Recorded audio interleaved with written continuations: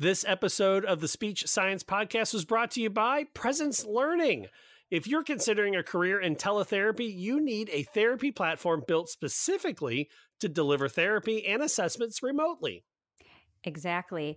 Therapy Essentials, which includes the Presence Learning therapy platform, is so much more than your average video conferencing tool. It was designed by clinicians for clinicians specifically to deliver therapy and assessments online. The Presence Learning platform features a content library full of games and activities sortable by age and interest to personalize your therapy and keep your clients engaged. And don't forget speech language assessments from top publishers. For more information and to start your free trial, go to presencelearning.com and then click on Our Platform. The views and opinions expressed during this show do not necessarily reflect, reflect the, the policy, policy or position of any affiliated workplace or employer. The views and opinions of this show do not constitute recommendations for therapy. Please, Please contact a licensed SLP for individual consult on your situation. Please listen carefully. What is communication? An essential behavior of life. We have the both blessing and responsibility of trying to foster another. It's transmitting a thought from one person to another. It's the strongest way for two people to convey information to each other. The back and forth between two people. Communication is a lifeline. It's just connection with other people. Connecting people in terms of ideas or thoughts or needs. Draws us out of ourselves, draws us into that relationship, you know, builds up our families. Without it, we'd be lost. Whatever it is that we do to express intent and achieve an impact. Communication is the ability to express your needs, wants, frustrations, and desires to anyone that you feel needs to have that information. Welcome to Speech Science episode number 159. I'm Matt Hott, a speech and language pathologist working in a middle school here in Ohio and also in the home health care situation working with adults uh, in stroke and dementia rehab. Joined, as always, by our oh, who am I going to talk to first? Our adult medical expert up in the state of Wisconsin, Marie Severson. Hey. Hello. Our PTSD SLP working in the good old state of Florida. It is Rachel Archambault. Hello, hello. Hello. And our pediatric expert in the great state of Texas, Michelle Wintering. Hi, Matt. Hi, y'all. One day I'm going to remember everyone's state like bird, and I'm going to surprise you with that one week. I'm excited.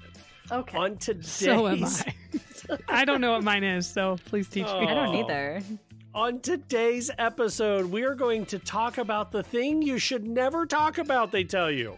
We're going to talk about your pay and maybe why we need more transparency in our field. We're also going to talk about ableism and a little bit of a uh, social media storm thanks to a uh, ASHA lesson on dysphagia. We'll get more into that. Uh, as well as we got our shout out, our due process, and the informed SLP. But we always want to hear from you. Make sure you go to our website, speechsciencepodcast.com. And from there, you can email us, speechsciencepodcast at gmail.com. I'm excited to hear from you at home. But first, I want to hear from the wonderful speech science hosts. And I will jump in first and say that the past week has been gorgeous here in Ohio. I'm on spring break. We're recording this on March 17th. It was 74 degrees today, y'all. And I did home care with the sunroof open, the windows rolled down. And today is the day while I was doing home care because I'm not in the office. I also got to take my boys uh, to a movie and bowling. So it's been a week. Marie, how has your week been? Well, I have also been enjoying home care with the nicer weather, and mm-hmm. I cracked my my window roof as well. Um, and uh, my roof window. What do you call that again? Sunroof. Thank you. Moon my roof? sunroof. I never use it, but um, so I cracked my sunroof for the first time. It was incredible, and um, I went out for a few walks, and I took a bit of a social media pause, so that helped me refocus and just. Do I'm some still other laughing things. about the roof window because that was a really good circumlocution. like, uh, Yes. I'm oh my gosh, I'm constantly doing that, especially when I'm tired. So, um, but yeah, the weather's been incredible here. It just makes everything better. It's great driving around with the sun shining in. Hey, and just so that everyone, you know, if you don't follow the news, there is nothing pressing happening in the world that our Congress has got together and voted to keep daylight savings time. At least Senate did. Don't know about the House, but hey, nothing else happening in the world that we could vote on that. Yep. That's right. I just learned for the first time, and, and tell me if I'm the only one, but I say it's daylight savings time. Like I, I I pluralize it.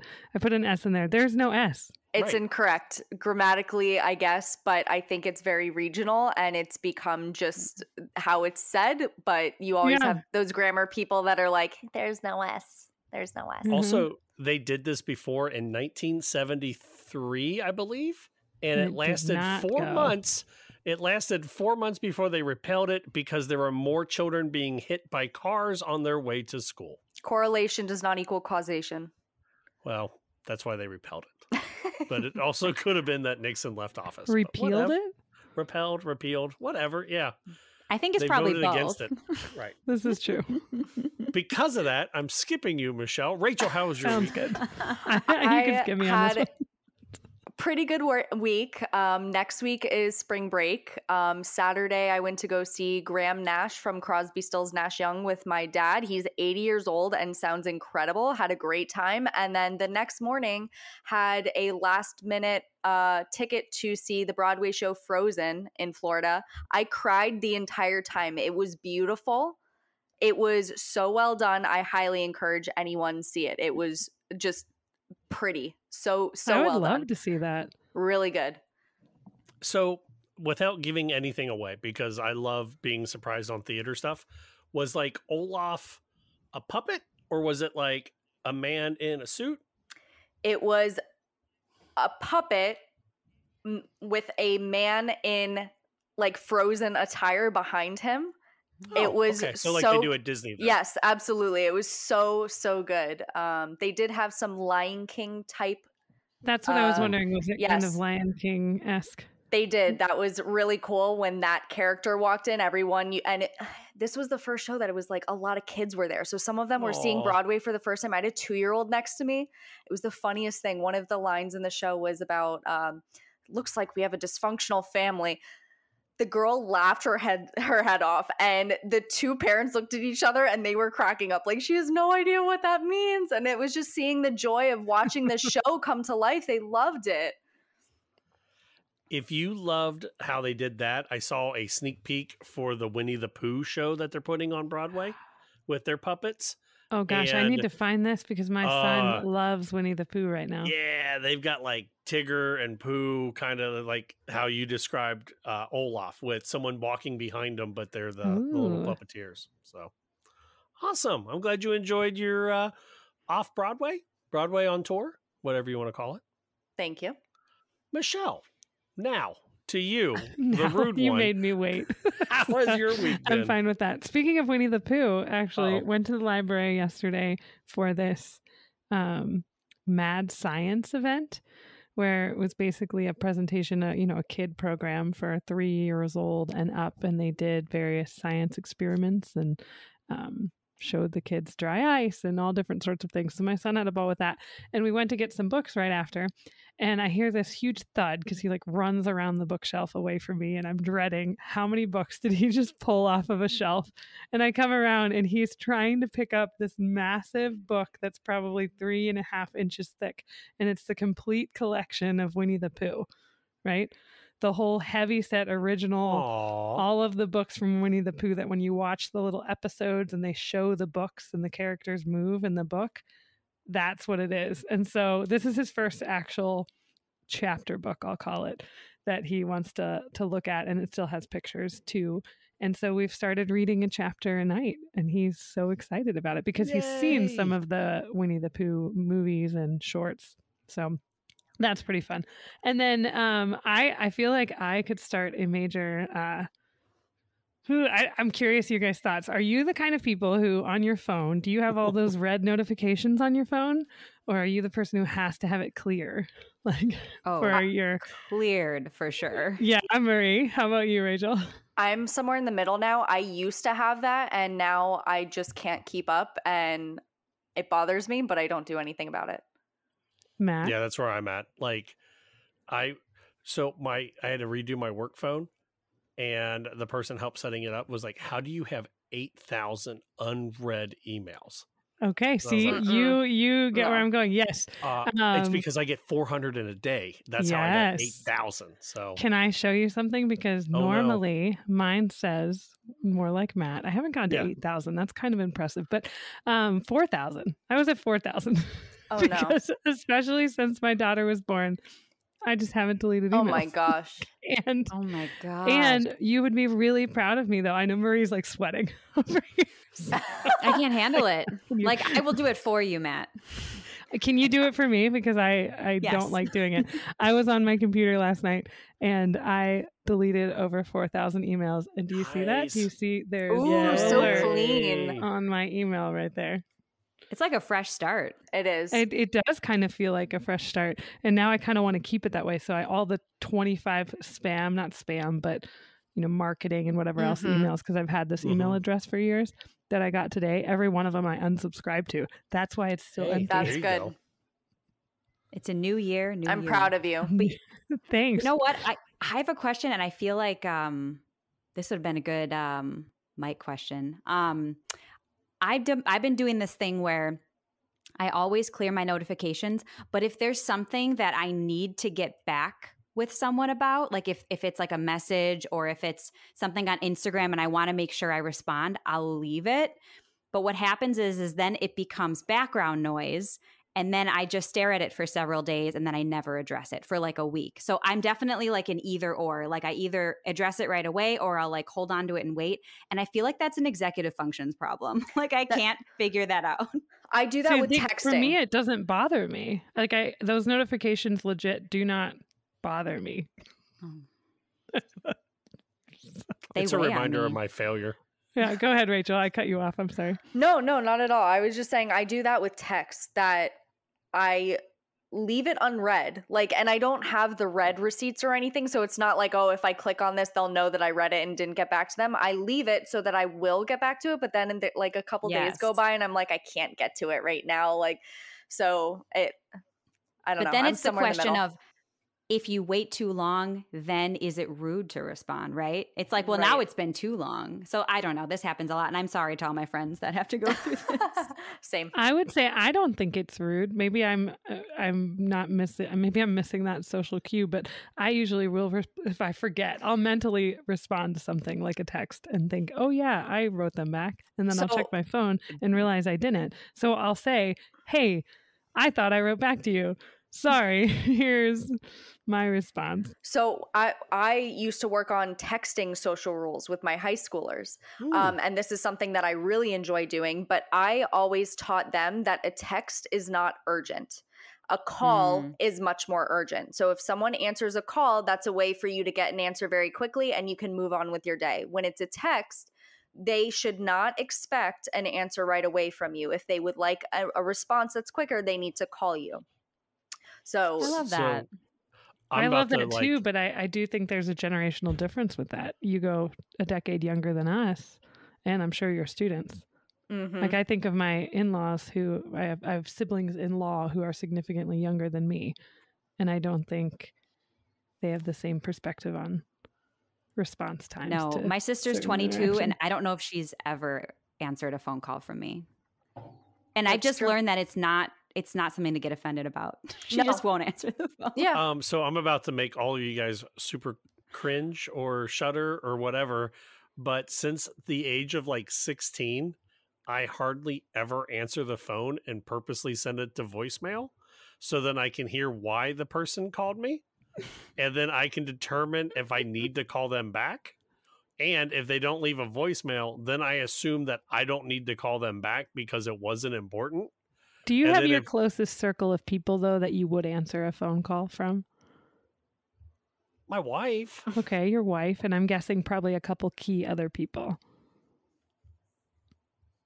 Maybe. Okay. See, that I think makes sense. There's that, you know, our radius. But I mean, like, yeah, but, uh, like I so circles. I picked it up, like I said, when I was like 16 or 17, because I was listening to a radio host talk about doing it, and I went, "Oh my gosh, that is so much simpler than answering the phone and being upset every day about why I need to talk to this person for 20 minutes for no reason. It's true. And Yeah, yes, I you- teach yeah. social skills and Yeah. pragmatics to other kids. So, right. hey, we have a listener email, and it is Rhiannon Anderson, who was our guest a couple weeks ago, or I guess a couple months ago now. Oh yeah, we when she talked hopped on. Yeah. Yes, and she wrote us a lovely email. It says, "Hi M M M M and R." Now I want to see if there are more people in our field with M names. Her cohort of 35 has nine M first names.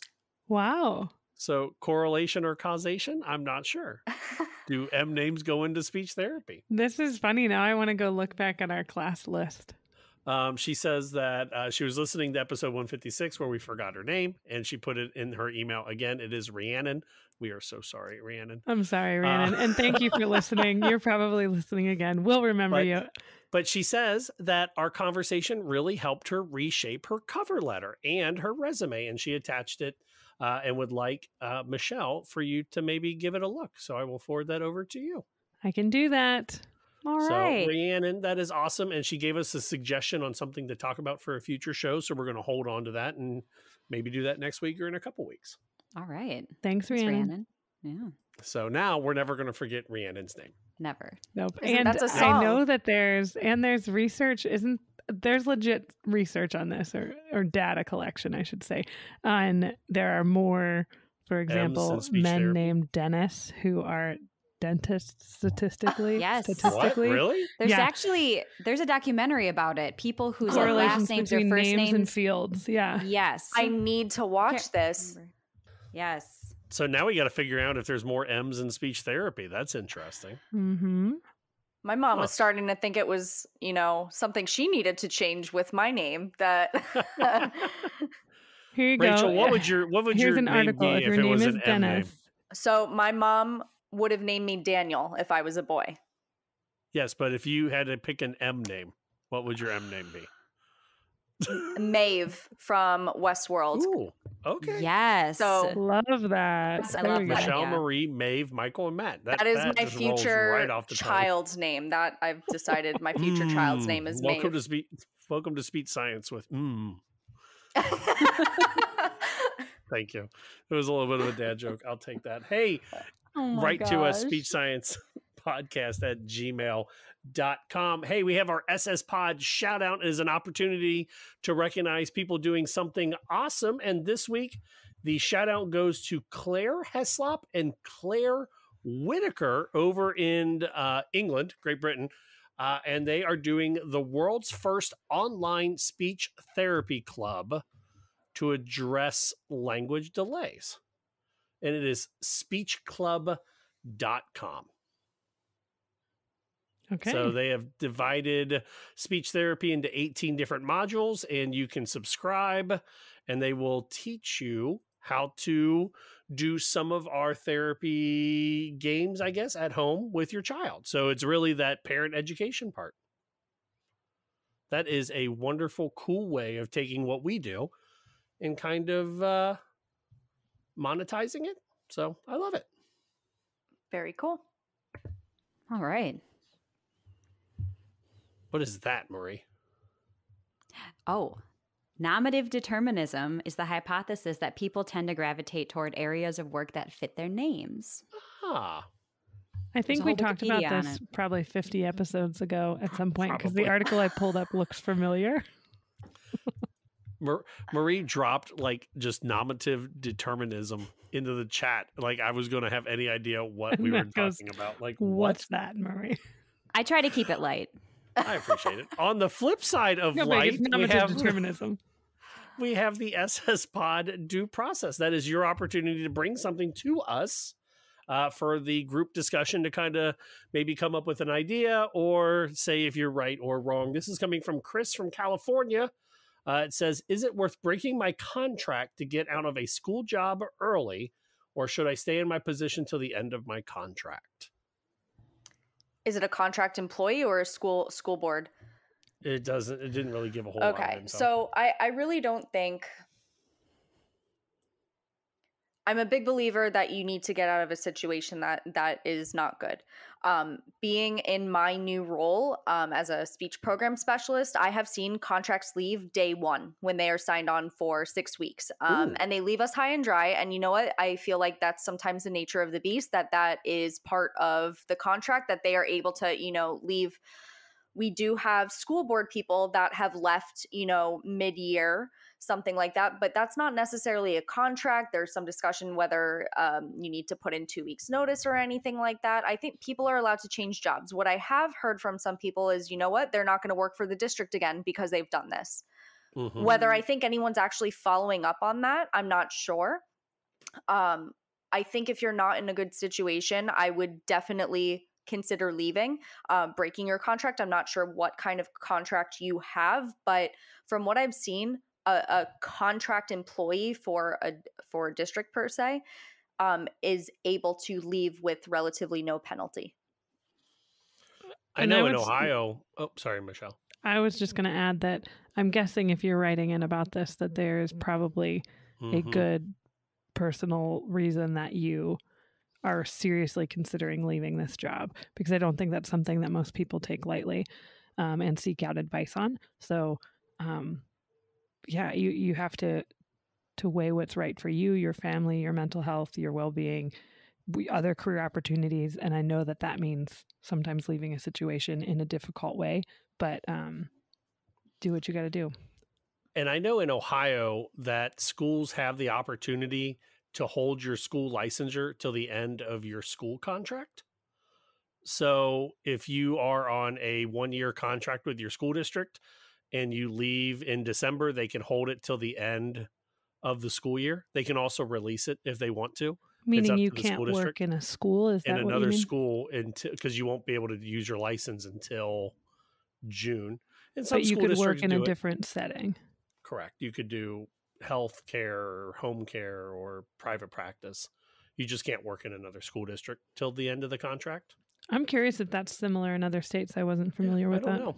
So, um, but my thought is, I'm sorry, Rachel. Uh, I was going to say, my thought is, like, if you're leaving the school contract for more money, then I'm completely against leaving because that's part of the the risk you take working in a school that you're kind of committing to that nine month position.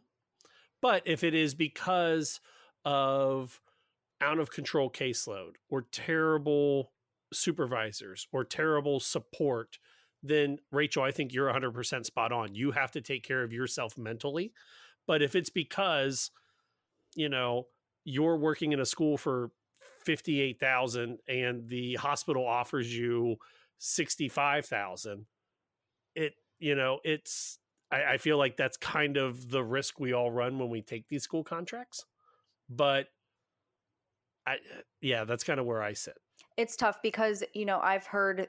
Uh, I think people prioritize loyalty with with jobs and everything and i saw my dad get screwed out of mm-hmm. you know he worked for a pharmaceutical company for 18 years and you know that company was bought up by someone and they were like you know what we can pay newbies way less and you're just out of the job so I- i'm a big believer that y- you are very replaceable so with that money part with such a large you know 50 to 65 or something like that i don't know if i would say no to that um, I, I feel like you can move whether it's the nice thing to do i don't know I think I think that's what it comes down to is more manners. Like, should I do this? Should I leave them high and dry when eh, you have the option to do that? There might be some ramifications, whether, like you were saying, you might not be able to work within the district for a little bit. Um, that might be a risk you are willing to take depending on what that is but uh, you have to do what's best for you.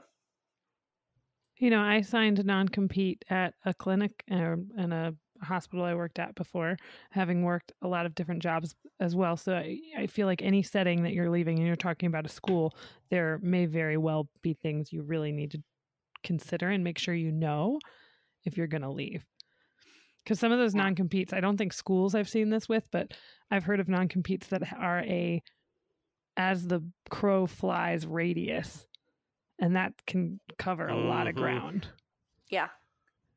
There's There- definitely controversy about those non competes and whether Oh, or not absolutely, you can yeah. actually hold someone to that because a lot of them are pretty unreasonable. Y- y- so- especially not so much for our field, but ones I've heard of for um, physicians can be like ridiculous. I worked Yeah. in TV, and our anchors had non-compete clauses that were like a hundred miles as the crow flies.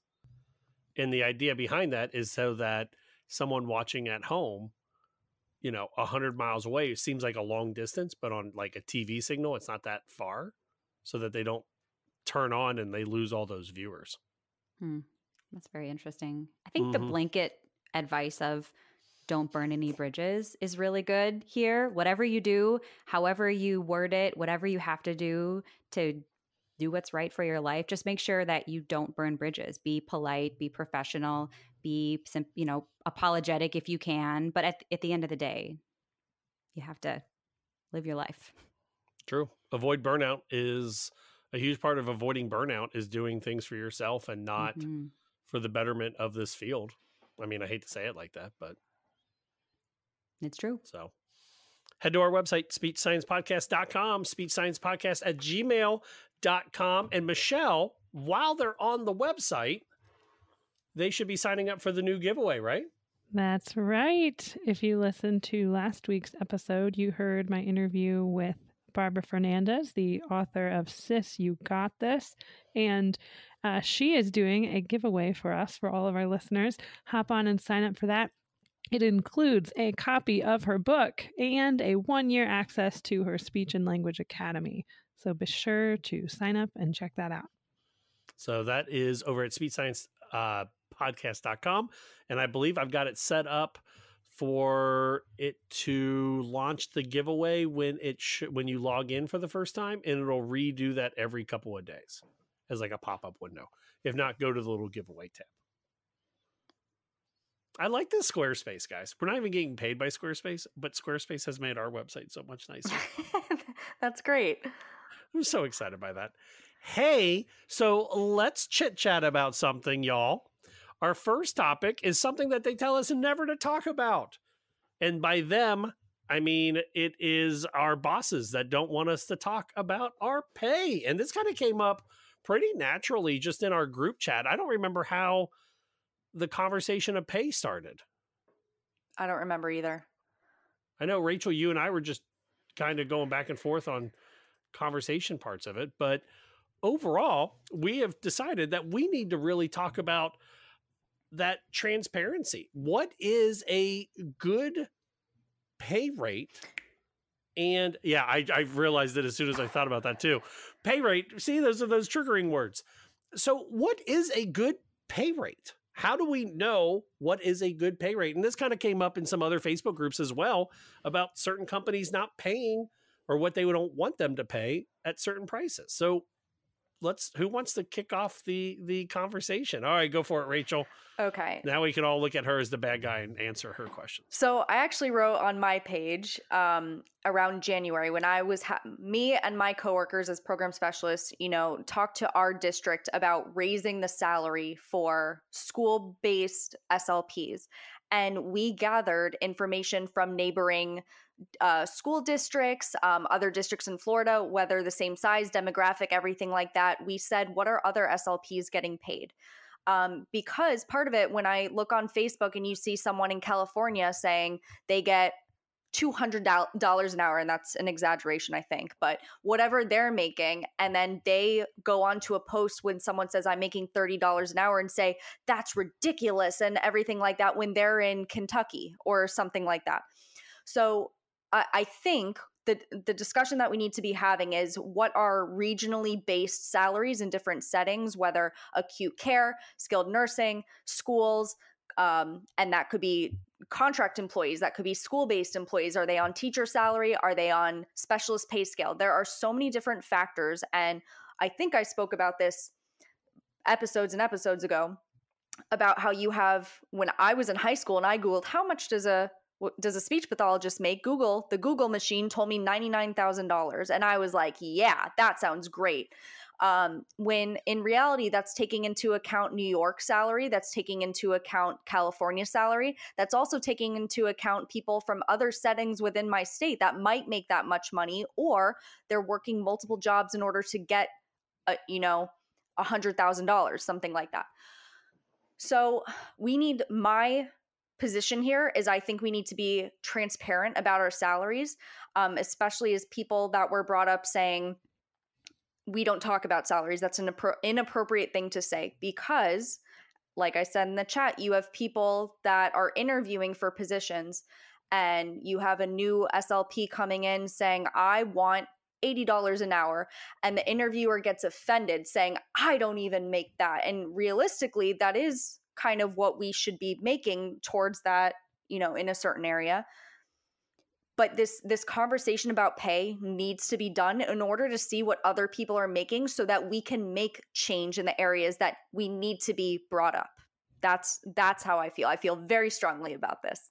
I rachel i like hearing that you had I guess, took the opportunity, made the opportunity with some other SLPs. Was it just SLPs who presented? It was the other program specialist to our, our ESE district saying this is, uh, you know, why we are losing so many people that we're competing with these other districts that are paying much more.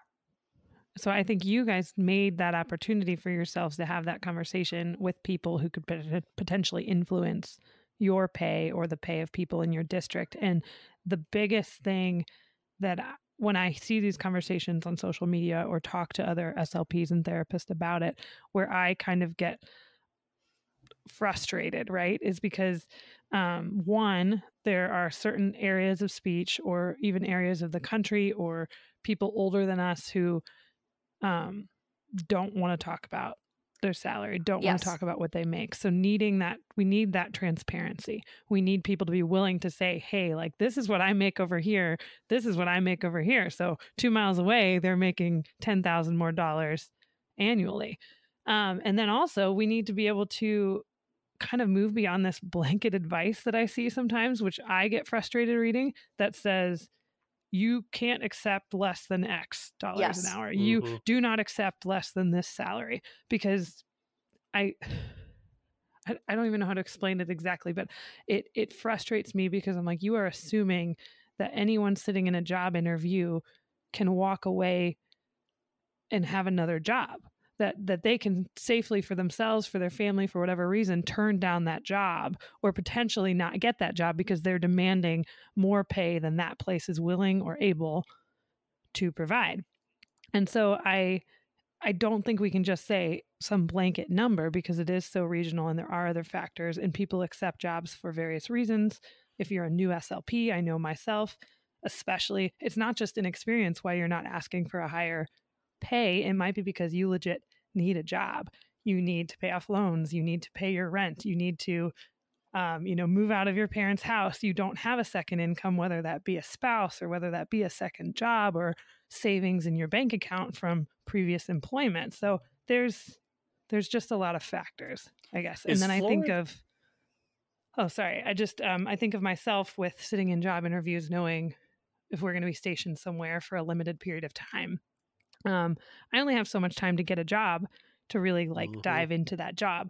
So I'm not going to push back as much as maybe I would in another yes. situation on a pay that they offer because there's already enough that is against me, st- kind of stacked against me as a military spouse sometimes. Not all employees are like this, but there are people, and I know for myself or for other military spouses where we know based on the vibe or what they said in the interview that we are not their top candidate we are not getting this job and big factors because they don't see us as a long-term employee in their mind. In the school in the school setting is florida a union state? We are able to have unions and i'm a member of the okay. teachers union for my district. Is wisconsin do you know marie do the schools have unions up there? Uh we had like a big union busting issue in like okay. 2008 yeah it's it's not great uh, for us in terms of unions. I don't know a whole lot about how it's what it's like in the schools, if I'm being honest. Um, but there's definitely nothing like that for healthcare workers. Right. No. And then is Texas? Do the schools down there have unions? Ooh, I'm I haven't been in a school here. That's a really okay. good question. The the reason I ask is because Ohio we are we have the Ohio Education Association and all the little local groups, but part of that is we also have the Ohio negotiated um, the Ohio State Employment Relations Boards, and it has all the collective bargaining agreements across the state. So you can very quickly and easily identify what any other school based SLP is making. So it does allow a little bit more transparency. And because Mhm. of that, I'm very open and willing to state that at year 10, and I have to actually look on this stupid contract, at year 10, I supposedly make 73 a year. So that is not that 99 that you were told, Rachel, but that is that open transparency that if somebody is looking to go somewhere else, And you are in what specific? That's in the school district. I'm uh, in a school district. Okay, so in in Florida, what was just done, we are on a teacher pay, pay scale, which Same here. we previous, I think two years ago, the starting teacher salary was forty three thousand dollars.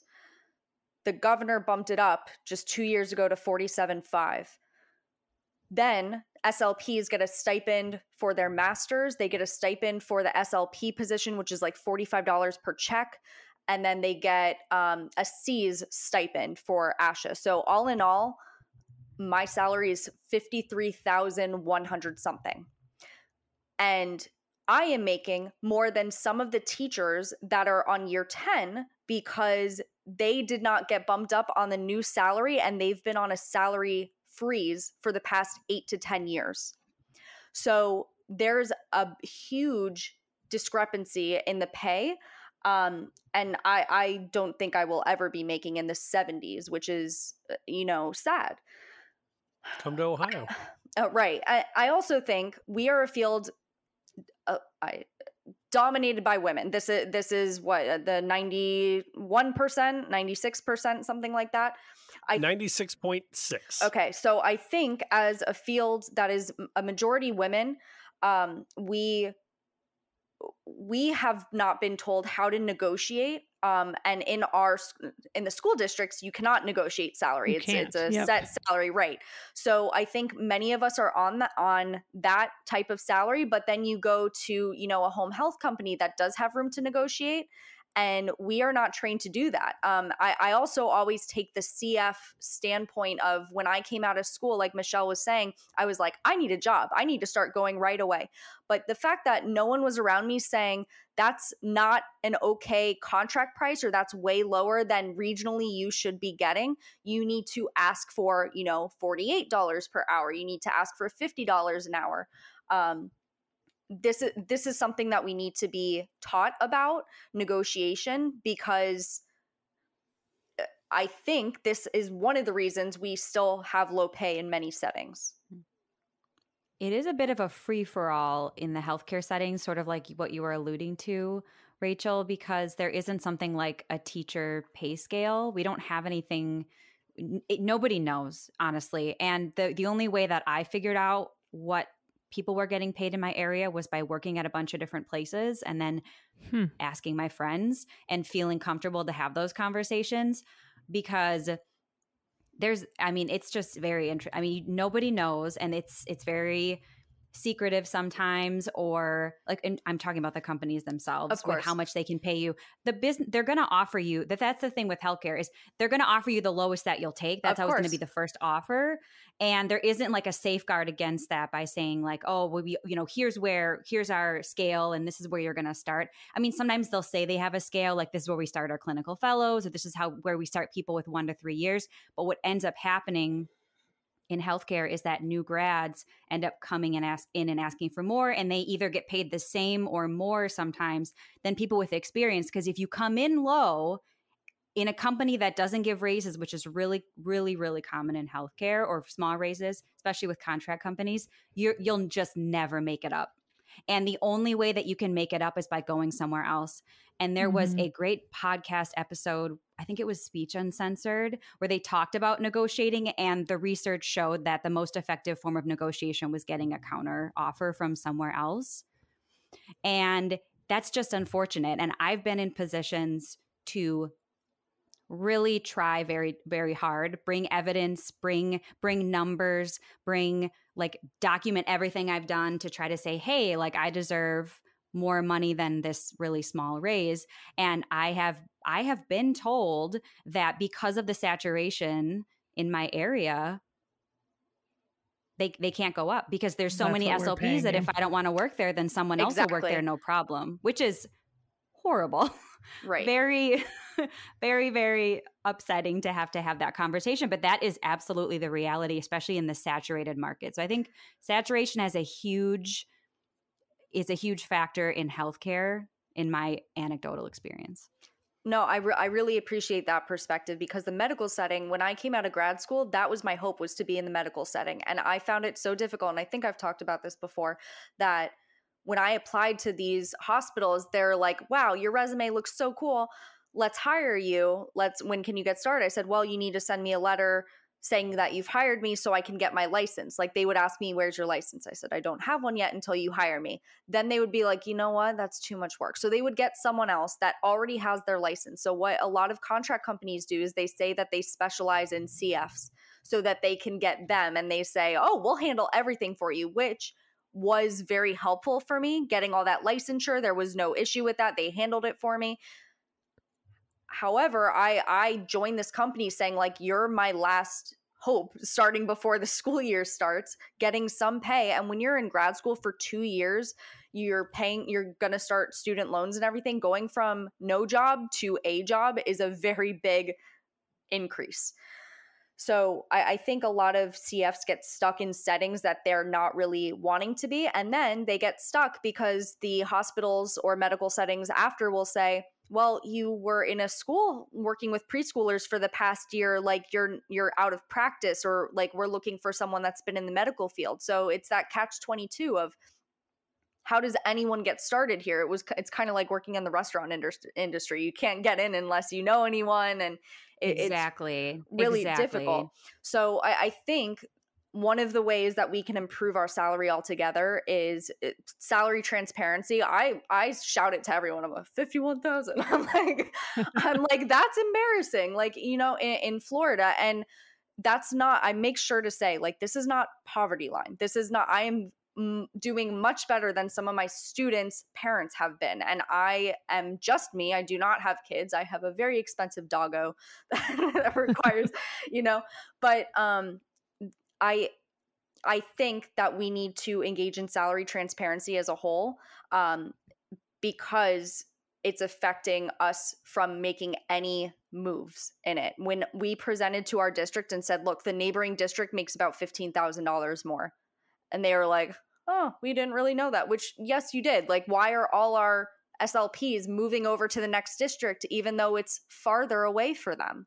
Because they're making more money. Um, we are also a critical shortage field. How do we pull people in, you know, to, to, how do we do this? So I have a Mm. question, and I'm, I'm gonna. I'm not trying to play devil's advocate, but I'm playing devil's advocate on this. You always do. I know that's my Mhm. Job as the as the as the DJ host, whatever. Are we? How do I put this? Are we complaining about the wrong thing?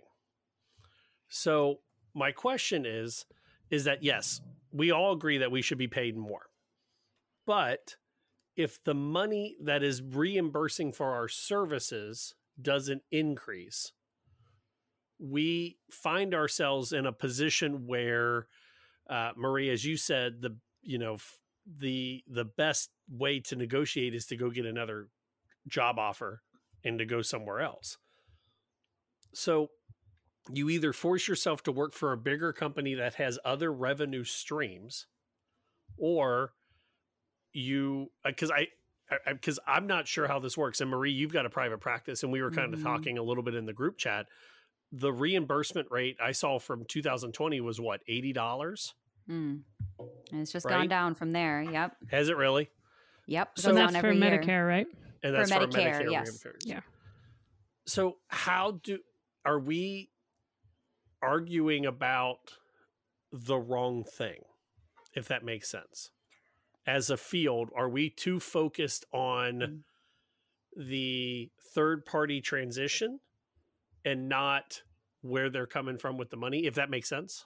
It makes total sense, Matt. What you're saying is could we be putting our effort and energy towards something like overhauling mm-hmm. Medicare reimbursement, you know, advocating for better Medicare reimbursement, which will in turn potentially increase our salary?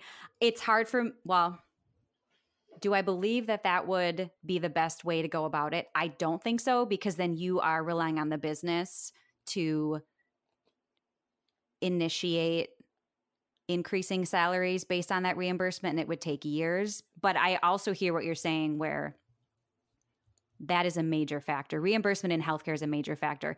Medicare Part A, not so much. So if like you're in a hospital, although it depends on what kind of a hospital, are you on a are you in a, a hospital owned by a contract company? Are you in a nonprofit hospital?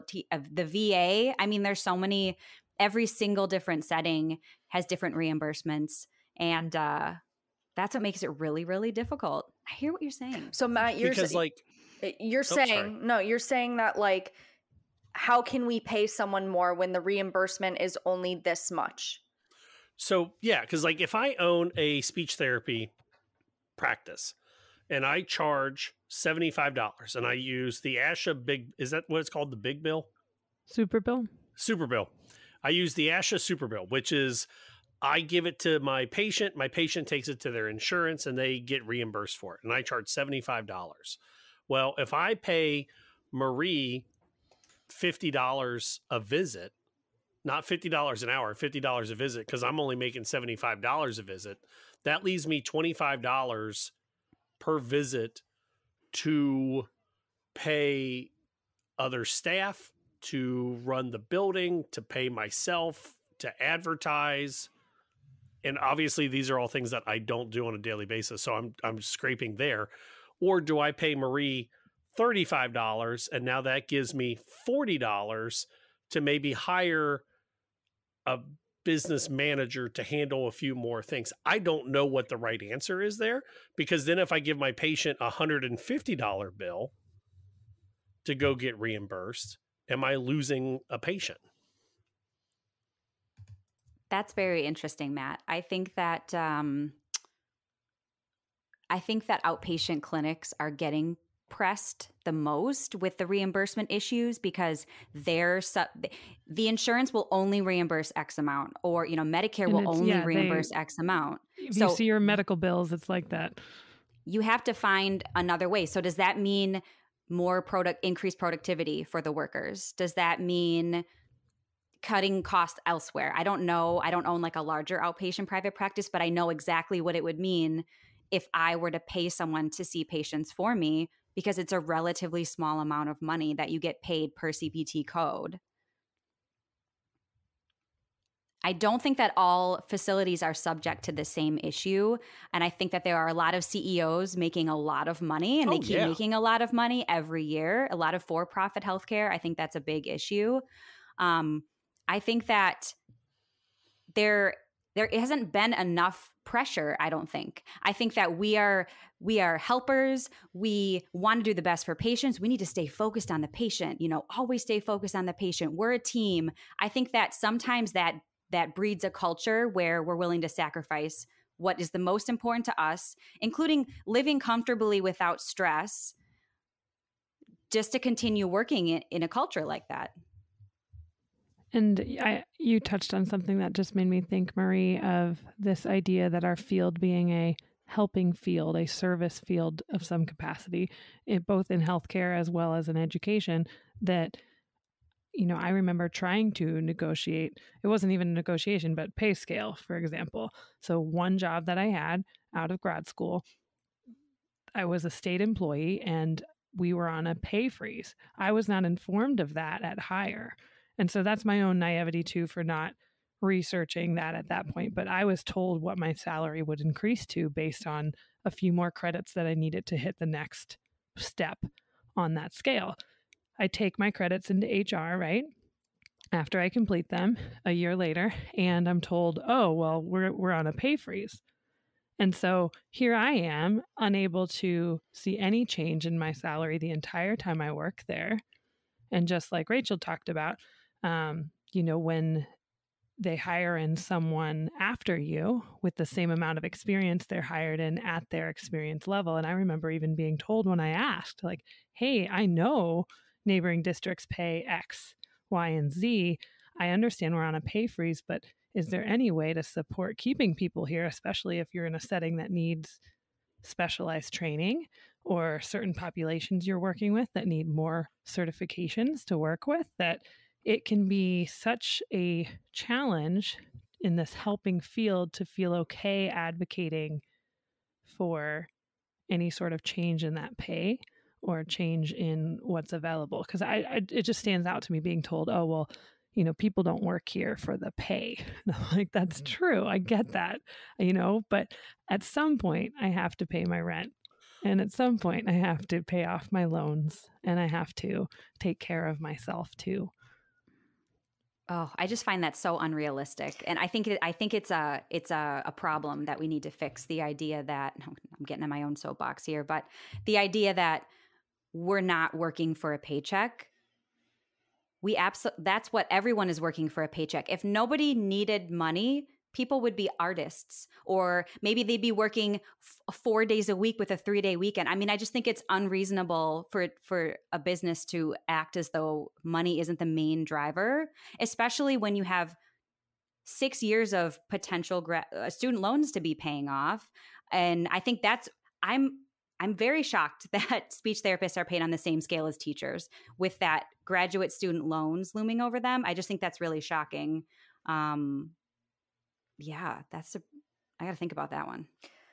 When I had uh, talked in the chat with you all, I, I had said I I wonder if there's a calculator that says how much someone should be making regionally, de- depending on um, cost of living and things like that with your profession, how much you should be making. I don't know if there's one specific. I know there are attempts to gather um, on social media different salaries and different settings where you're located, all this stuff.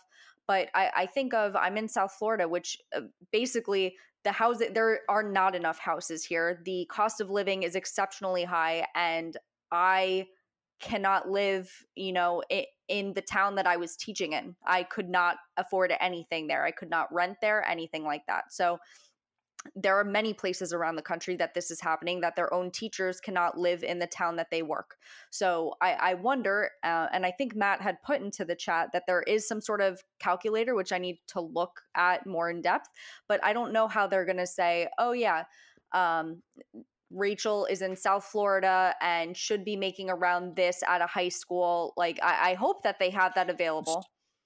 So it's it's the NerdWallet, and what you do is you put in where you're at and where you want to move to, and then you can kind of compare it.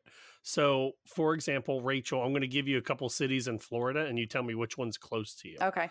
Uh, Cape Coral, Fort Myers. Nope. Dayto- Daytona. Nope. Fort Lauderdale. That's me. I was gonna. Say, is that perfectly you or close to you? Perfectly me. Okay. So comparing to I live in Cincinnati and what I make right now before taxes is a number.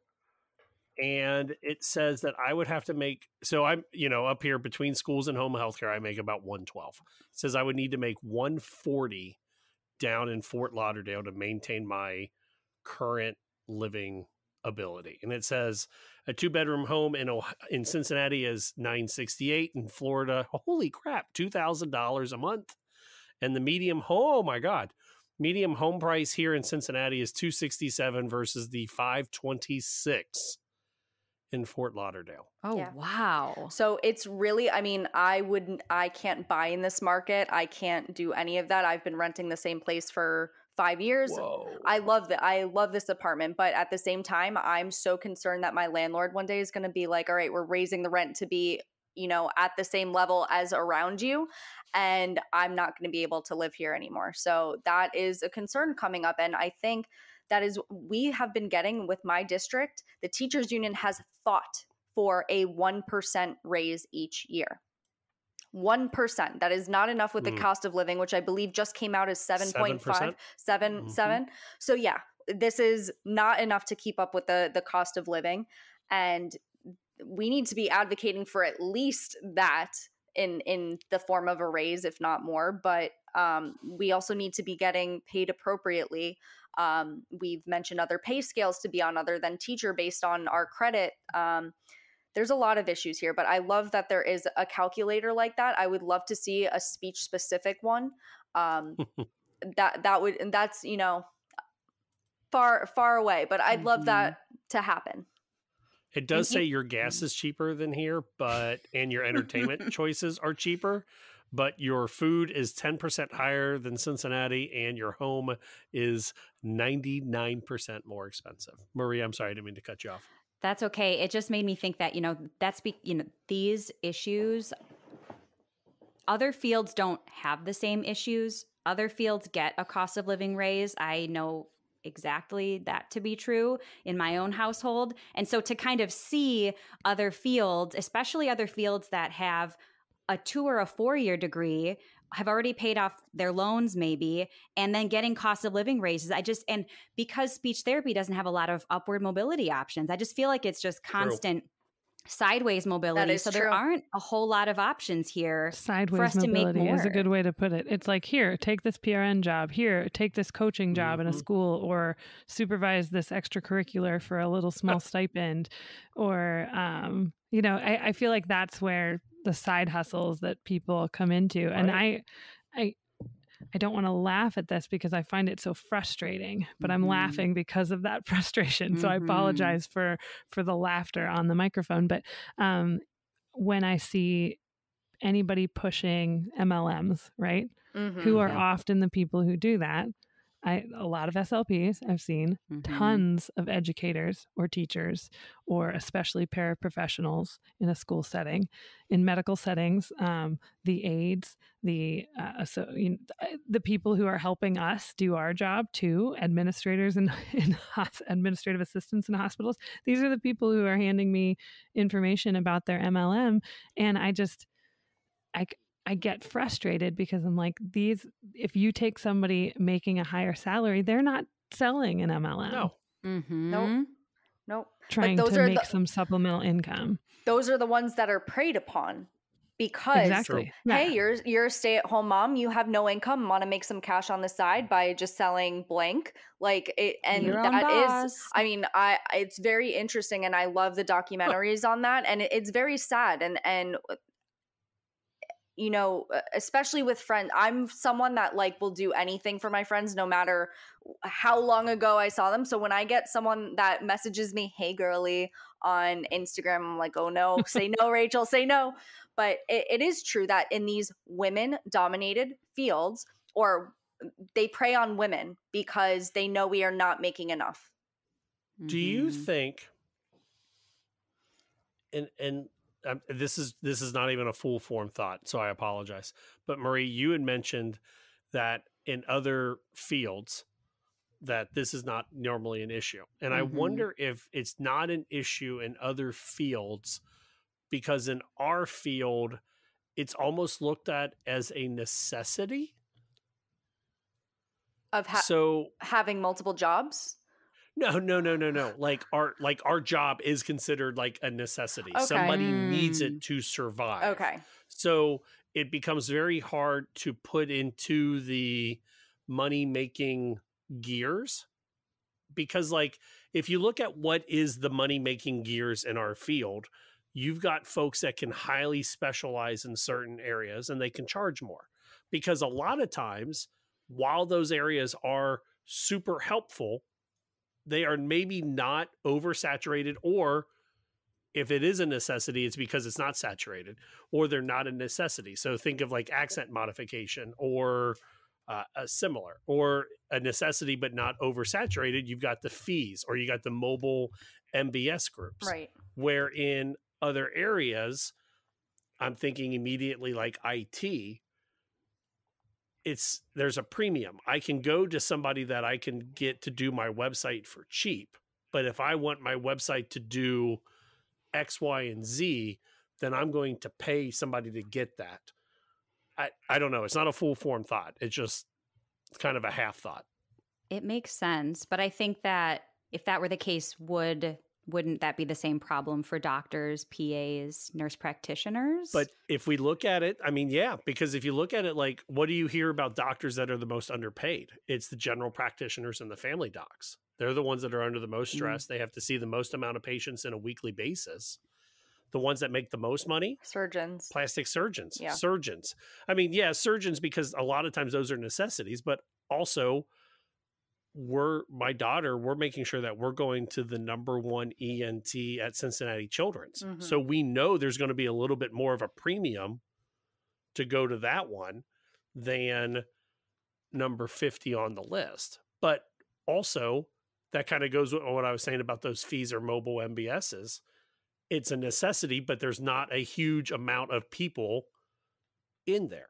So I don't know. I mean, But they're subject to, I think it's the reimburse, the, the, the reimbursement issue, the funding for the education system, and then reimbursement. Because Matt, if you need a better website and you have the money to buy one or pay for that, then you would. Mhm. But I think Right. the issue is there's not always money there, and like e- I, I recently looked into mobile FEES and the reimbursement Mm-hmm. rate from medicare is not very good so Mhm. it's sort of like to invest in $20000 for a mobile FEES equipment you it's just there's nothing there's no like lucrative. There's not like a a lot of that. It's it's a big challenge. What i actually think would have to happen and i don't know if this is similar by you all if you're having like a big nursing shortage by you Mhm. is this like a national thing? There's a there's a major one Mhm. around here and the nurses are banding together and saying we're important. We do really hard work. We we bust our you know what's and we don't get paid enough for it and it's not okay and i believe that that's what therapy is going to have to do. And I, I know that physical therapy and occupational therapy feel similarly. I think they have a little bit more of an advantage in some scenarios with for a variety of factors. But i do believe that that's what it would take for speech therapists is everyone and again it would probably have to be i don't know if, if school and healthcare could have the same objectives. I think it would maybe have to be separate Hmm. Marie, question for you. Do you find, I know myself working in outpatient and in a hospital, talking to friends who are PTs and OTs and friends that I've kept in touch with, the PTs and OTs are often paid slightly higher than the SLPs in those settings. Do you find that, uh, in my experience? I'm curious what your experience has been or anyone else. I have found that to be true in some settings and then not true in others. I the reasoning that I've heard is because everyone sees PT and OT and not everyone sees speech. So if that's for some reason been a reason and and I, that doesn't really make sense to me. Um, but I and again that goes along with the push for like for example OTs to maybe provide dysphagia services because if we can just get OT and PT to just do everything, then we don't have to worry about paying or staffing the speech therapist. And I think it's just, oh, it's such a systemic issue. But I don't know that they're making. I mean, if you go on PT Reddit, which I lurk, they have the, they have very similar issues to us. Very similar. They do. And uh, when I was a graduate intern at the hospital that I was at, um, the PTAs actually were paid more similar similarly to what the SLPs were being paid. I don't know the PT and OT schedule um, or pay scale, but the PTAs were making essentially the same as the speech pathologists. Well, and I know in regards to a pay scale at a school, for example, um, PTs having a doctorate automatically puts them at a higher pay scale on the teacher pay scale, as well as a lot of OTs have programs have moved to OTD, mm-hmm. a doctorate. I'm I'm not necessarily advocating that we all need a speech pathology doctorate, no. but it's coming um, down the line. It will. Is it though? Yeah. I don't know. I don't know. They will. Gosh, can you imagine adding that on top of a clinical fellowship and then having the the pay well, be the same? I think I just, the clinical fellowship would be a part of it, right? It, uh, yeah, it should be already. Be. I mean, that's yeah. another topic yeah. that I can go off of. Why do we have oh, a, yeah. a, clinical fellowship when the PTs they jump out of grad school and they're like, "Hello, I'm ready to work," and you know, there's no over uh, supervision, anything like that. And um, audiology does one more year than us. Exactly. So do, so is yep. physical therapy. It's a DPT. Uh-huh. It's one additional yep. year. So mine was two years, six consecutive semesters, and plus the CFY. Plus Mhm. a CFY. So it, it just seems like there's inconsistencies when we're always grouped together, yet we are not paid the same. Or, you, you know, it, there's so many things that can be changed. I think it, the action is going to have to come from the workers, like Maria is saying, like the ones that are the nurses, us, we need to be advocating for it. So I am trying to encourage SLPs to share their salaries with each other if you see Mhm. inconsistencies or just understand what other people are making regionally or you know w- what someone in ohio is making versus here maybe i'll move to ohio and have a nice comfy a- apartment and my my quality of you know i can take a vacation i can do this like that that would be nice so there's a lot of factors that go into it I've, been watching more a lot of oh, newsies. sorry. I've been watching a lot of newsies, and they say that they're a union just by saying so. But like realistically, is that where we're going? I mean, this has been banded around on Facebook for the last five, six, seven, eight years. Of do we need a national speech therapy union? I mean, yeah, you probably need two subsets, but like I worked for a union in New York that was for television people, mm-hmm. but it's IATSE and it's the same union that represents theater people. Mm. So it's in the same area, but they have two different objectives. Right. The IATSE member on Broadway is worried about hanging lights and not falling off the stage during stage setup. And the IATSE member working in television is worried about how heavy is this camera and how long do I need to stand holding it. But the that union was able to say both these people we can represent. So, I mean, do we all go newsies and Possibly, because you know, ASHA has been a little hands off on productivity in healthcare, and I and mm-hmm. I get why. I fully understand that it's because there's so much of a variety of different factors that go into every setting, but there's no one that is sticking up for that clinical fellow in a setting that's being asked to do 95% productivity and being at times sometimes bullied by management to do more and there isn't there's no guidance for that it it just seems absurd almost that there's no guidance for that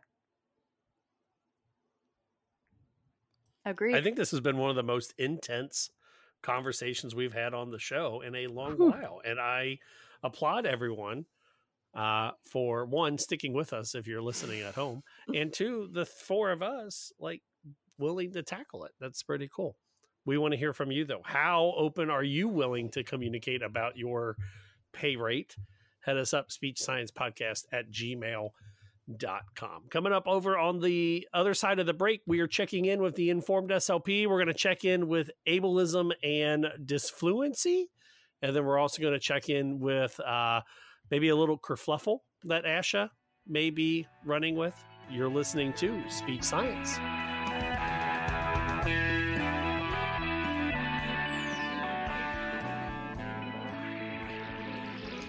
And now for our regular research review, brought to you by the Informed SLP. The Informed SLP releases a monthly newsletter that brings you plain language reviews of only the newest, most clinically applicable research, keeping you up to date on advances in the field and saving you tons of time. So let's get to it. How much residue is in there? Introducing the VASES for FEES. This is a review of the articles Visual Analysis of Swallowing Efficiency and Safety, VASES, a standardized approach to rating pharyngeal residue, penetration, and aspiration during FEES, published in Dysphagia. And we've linked the author's version in this review on our website. And the article Visual Analysis of Swallowing Efficiency and Safety, VASES, establishing criterion referenced validity and concurrent validity, published in the American Journal of Speech Language Pathology, and that article is available to ASHA members. When you're doing a FEES and see a small glob of applesauce in your patient's piriforms, it can be hard to know exactly how to describe how much is in there. Mild residue? Moderate? Standardized rating scales like the new VASES can help. The VASES is used to estimate the amount of residue filling or covering six different areas. It clearly defines each of the areas anatomically and offers rules to help you be consistent when you score tricky situations. Recent studies by Curtis et al. found good to excellent reliability among new clinicians and strong agreement with other FEES residue rating scales. In other words, there's evidence that the visual analysis of swallowing efficiency and safety ratings are meaningful. But why develop yet another FEES residue rating scale in the first place? We already have a bunch like the Yale, Boston, and Mansoura scales. Three scales that are also standardized and based on anatomical boundaries. What sets the VASES apart? First, the VASES rates the amount of residue on a continuous scale from 0 to 100%, rather than using severity categories such as trace, 1 to 5% filling or cover, mild, 5 to 25%, moderate, 25 to 50%, etc. The 100 point scale lets clinicians communicate in, more, in more detail about the amount of residue they see. For example, vocal folds that are 30% covered wouldn't get lumped into the same moderate category as when they are 45% covered. Also, the VASES scores are rated on a visual analog scale, or a VAS. Well, sort of. In the reliability and validity studies so far, participants have moved a slider along a line like the one below to indicate their rating. But Curtis et al. compared raters and perceptions of visual versus numerical scores and found that the two numbers were very close meaning you can feel free to skip the visual part and go straight to documenting a number between 0 and 100 in your report. The VASES is also a bit different in what it rates. It is the first FEES residue scale to rate the amount of aspiration. While the reliability for aspiration scores wasn't great among trained grad students, VASES scores still probably give your colleagues a clearer picture of what happened than vague impressions of trace or frank aspiration.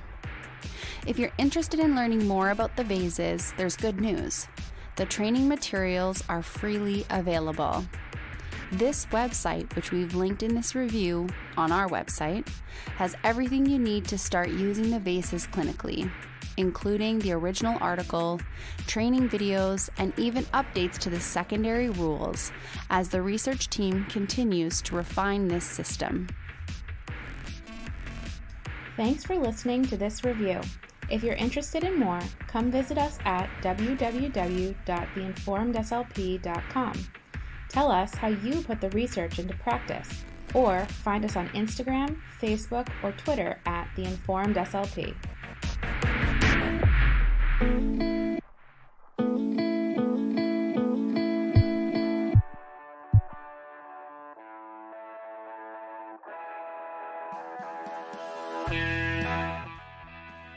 We'll get back into the show in just a moment, but this episode of Speech Science is brought to you by Therapy Essentials, which includes Presence Learning Therapy Platform. It's so much more than your average video conferencing tool.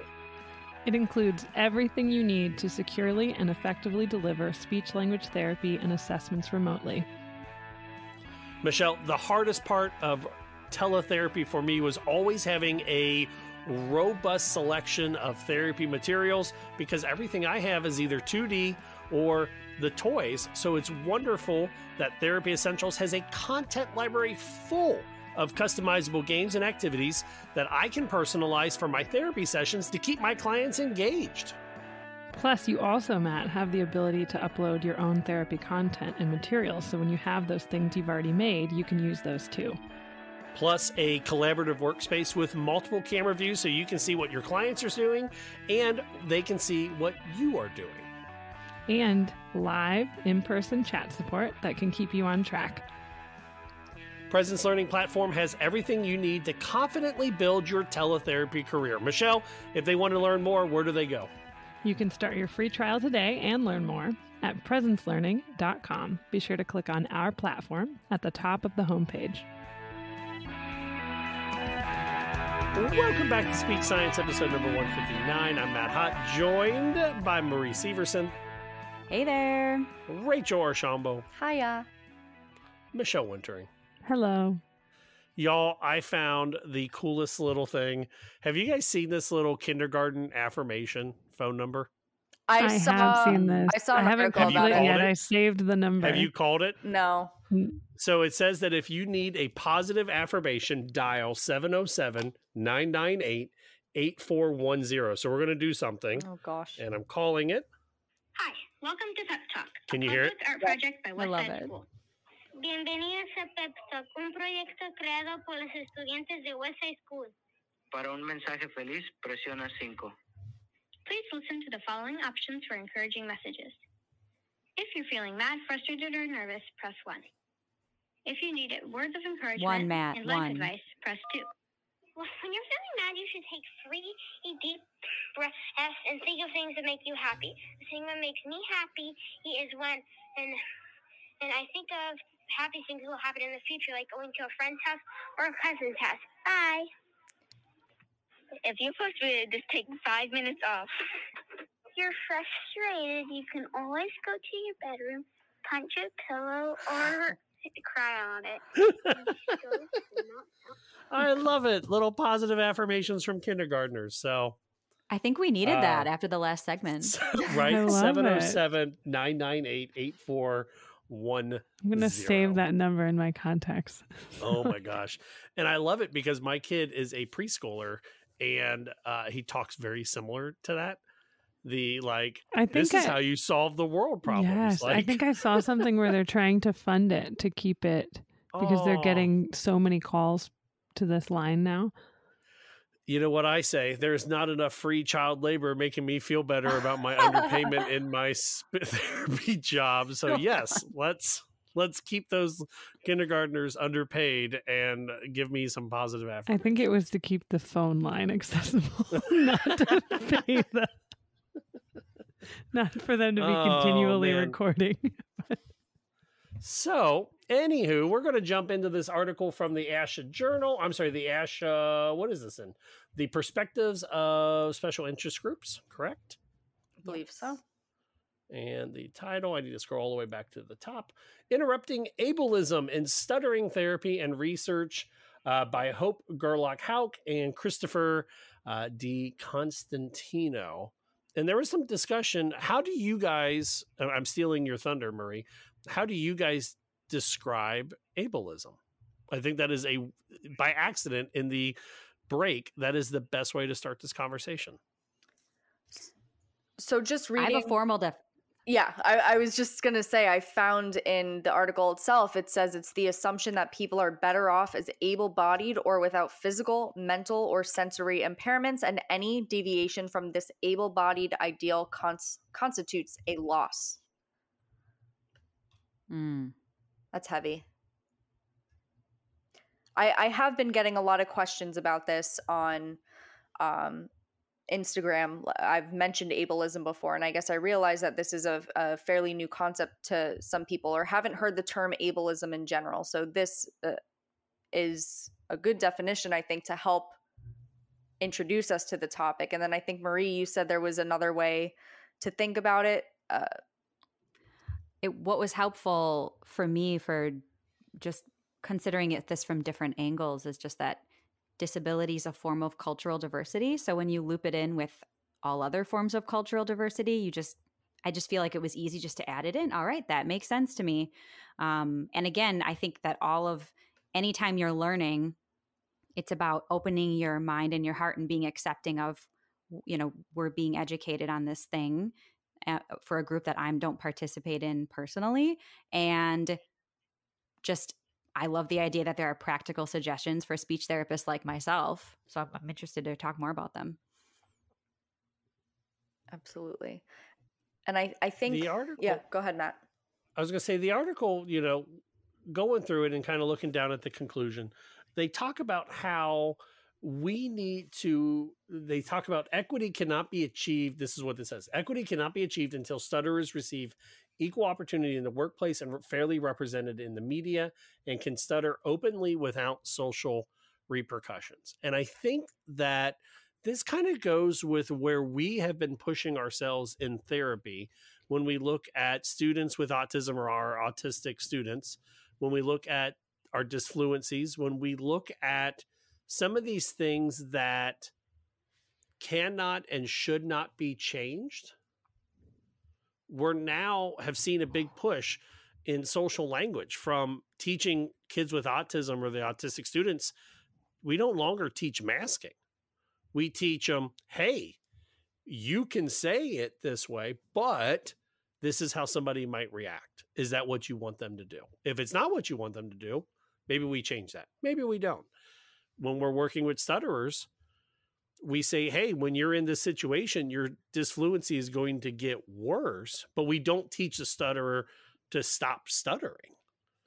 So I feel like this is just another nice feather in the cap to support the slow, steady push of where we have been going as therapists for the last five years, 10 years. Mm-hmm. I think I think you you hit it with that, Matt. That this is that push for identity first, right? Yes. That identif- mm-hmm. identifying the person as as identifying that diagnosis or that label as part of the person mm-hmm. and not just as this disability and this problem that somehow we are part of fixing, right? Mm-hmm. And we've seen that shift, and this is years back, decades back, of I, I, I know I've mentioned on air before, but that um, deaf people pulled mm-hmm. that identification of deaf a long time ago and said that is part of who I am, and that is what I want to be called. Blind mm-hmm. people did the same thing. I am blind, mm-hmm. I'm visually impaired. That is who I am. That's what I want to be identified as. To autistic people have really pushed that that is becoming the accepted norm in our workplaces now to call someone autistic, not to necessarily or to minimum ask, right? that they yes. what how they want to be um, referred to. Like are you an autistic person? What what do you want me to say? Um, and then this just seems to go right along with that that okay someone who stutters is a stutterer. How do how do they identify themselves? How do they see their stutter fitting into them their identity in their life mm. and i i have treat uh i don't even want to say treated i have worked with students that stutter um, or stutterers using that identity first language. Um, I when I my first year, I worked with a fifth grader privately at his house, and the parents' point of view was fix this, like completely erase the stutter, and that is not something that I was doing. And at that point, we were just working on identifying.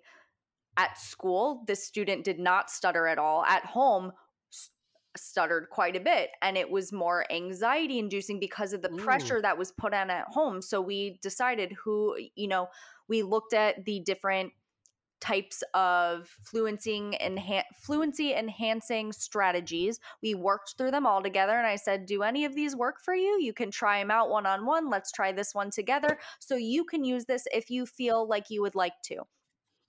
They can choose to or not. But that is not our place to say you must use this at all times and make yourself so you do not stutter at all because I am not a stutterer, yet I have disfluency.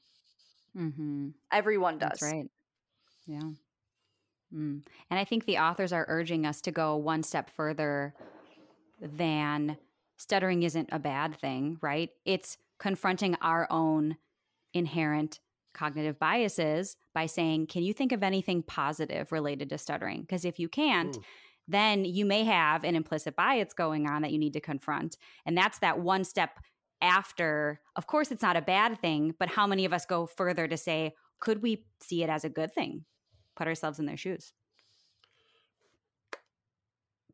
That I feel is more difficult for us as the who have been trained to quote unquote fix communication mm-hmm. deficits. Um, but I was thinking about this story. I worked with a student years ago, and I might have said this on on the air at the time that we were working on getting them to decrease the anxiety associated with stuttering while working the cash register. Mm. And they had to call back and they worked at this restaurant where everything was kind of a goofy rhyme and they had to call back food orders and there were certain things that would trigger the, the disfluency and we were working on word replacement and the cook yelled at him and said something like i don't care that you stutter but if you say one of those stupid words one more time i'm reaching through here and strangling you. Oh because we were like replacing you know like um oh i forget what it was but we were like replacing it with some of that slow uh verbalization or the like the easy onset and i think it was just driving the cook mad. He was like i am fine with you stuttering over a sound. But if I have to hear you warm your voice up like a car one more time. when when I was in in grad school, I was very involved in um like stuttering support groups with adults. Um, I've been to NSA a few times, National Stuttering Association. They've been in Fort Lauderdale a few years ago, and I'm still very close to some of the people I met through the support group. And I, I remember just having eye opening experiences as there were many SLPs that attended th- these meetings with people of very different ages and a man who always considered himself to be a severe stutterer. He said he that's how he described himself a severe stutterer is a lawyer now like has to go in front of hmm. judges and discuss this and one of the slps said like you're so brave and he was like mm. i hate that I hate that. Like, this is my chosen profession. I don't want to be called brave. This is not something that I chose to, like, I didn't choose to have a stutter. So that's part of the ableism, I think, of, of like mm-hmm. making uh, people that have a situation that's been given to them. I don't even know how to put this. I guess uh, uh, many people that I meet with stuttering do not like to be called brave or heroes or anything like that. The adults because they they don't feel like that. It's just a choice that they made, and this guy enjoyed law, reading the law, and being a certain type of lawyer, and that is a struggle that he goes through every day when he is in front of a judge. But it, it doesn't make him brave or a hero in his own words, and that was really something that I was like, wow, that's very interesting. Um, yes, because comments like that imply that you don't see the person, you just see you see mm-hmm. you first see their quote unquote disability and then everything else comes after that and that's not what people want people want you to see them and their accomplishments that don't have to do with something that they were born with for example right there was one quote that stood out to me that I thought was a call to action. So if it's okay, I'll read it. Go for it. Some therapists might worry that affecting social change is outside their scope of practice or best handled by other professionals. The ASHA scope of practice alleviates most of these concerns since the first professional practice domain listed is advocacy and outreach. So it starts with us. I really like that we want to hear from you. Head over to our website, speechsciencepodcast.com, and email us speechsciencepodcast at gmail.com. And I feel like that is the perfect transition into our next part. And we're kind of blending this in with our uh, What's Up, ASHA? What's Up with ASHA? Uh, sometimes ASHA does things that, you know, we go, hey, great job, ASHA. And sometimes they do things that make us scratch our head. And uh, you may have seen this on the social medias. I sound like the 90 year old person on the TikTokies, but uh, there was a presentation, the cultural considerations in health equity and dysphagia management, and they threw up a slide asking the participants to identify and acknowledge their biases. And on the left side, there was a four point scale that, you know, number one said, I feel I can comfortably work with this person without prejudice. And number four was I feel biased and prejudice against this person and don't think I could work with them. And the idea on the surface was teaching SLPs to identify where their bias is to maybe make us better clinicians. However, the kerfluffle happens with the examples that they've used. They used on the right side, the potential patients include an Iranian immigrant, a Muslim man, a transgender woman, a Jewish man, a Hispanic Latinx immigrant, an African American man, an alcoholic or an addict, a morbidly obese person, and a white neo Nazi. And this has blown up pretty big over social media. And one of the articles we're going to be referencing in this is from Vivian TC. She is an SLP and also is a professor uh, at San Francisco State University teaching cultural responsiveness in speech, language, and hearing sciences to first year grad students, as well as anti ableism and anti racism. And Rachel, you hit this pretty good when we were talking about this. What is the big issue about, you know, lumping neo Nazis in with actual humans? Okay. So, first of all, you have on this list, Jewish man is directly next to white neo Nazi. Mm-hmm. Um, I the int- I believe that the intention of this slide was to show if you are a white Christian person, what other views might be, others that you might come into contact with.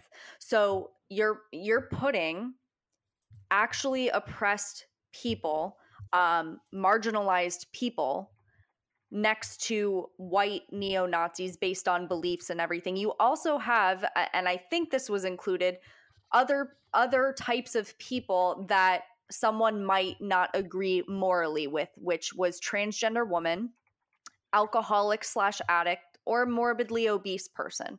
So this list, the intention was to show you might, as a provider, come across these patients and you're going to have to work with them based on this four point scale. Um, the problem is, is lumping the neo-Nazi in with actually oppressed, marginalized groups of people. Mm-hmm. That's that's mm-hmm. the problem here. Um, and it is shocking and I think looking at this list initially, you're like, these are like, you can see what they were trying to do. However, I'm always saying the intention does not matter. Um, it, it's how it came across. Um, so I am a Jewish person and seeing Jewish man listed next to white neo Nazi as part of people that you might disagree with is not equal for me. I I hear what you're saying, Rachel, and I the part that I'm struggling with this is is that when we look at Iranian immigrant, Muslim man, transgender woman, Jewish man, Hispanic, African American, I I have a real hard time classifying any of that into an other category first that I feel like it gives permission for somebody who feels that way to feel justified in their thoughts, if that makes sense. Hmm. And then by putting in the neo Nazi, it almost feels like it classifies those people as just like the level that you could disagree with an Iranian immigrant is the same that you're disagreeing with the neo Nazi. And I feel like I don't like that image that it could be telling some clinician that it's okay to feel that way. Does that make and I think that sounds like, especially listening to Rachel's perspective on this, and you know me looking at that list as a white female, oh, and and thinking, where what white neo-Nazi that's on this list mm-hmm. of, um, yeah, I would have a problem treating this person. Um, yes, we need to treat people, but whoa, that obviously that one stood out to all of us. I think. I wouldn't serve the Nazi. Um, well, so that's the question here, and I, and I think sorry, sorry, Michelle. I didn't no, mean no, jump no. on I there. think that is the actual what this was trying to show. How do you work with someone that you are morally so against? Um, And Mhm. I was thinking about that Grey's Anatomy episode from years ago, Yep, where the yeah. the oh, I remember this one. Yeah. the black doctor, Dr. Bailey, who is an incredible doctor, has a patient that is a Nazi, has a big swastika on his chest. And Bail- uh, George is the resident at the time and, you know, is really saying, like, that, you know, you got the best doctor here. And he's, the patient is saying, I want to work with anyone else but her. I want to work with anyone else but her. And the question is, what do you do with them? As an SLP, when I am in front of a, a mm-hmm. neo-Nazi, can I make that decision to not treat them because I'm I morally disagree with them? But then they're also So- put on this list next to Jewish man, Muslim man, transgender woman, and women. That is the problem here. Is including this list together, putting these on equal disagreements.